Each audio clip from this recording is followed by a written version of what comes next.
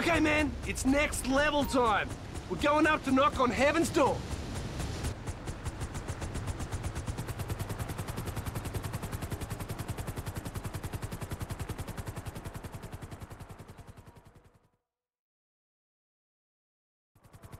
Shit! This is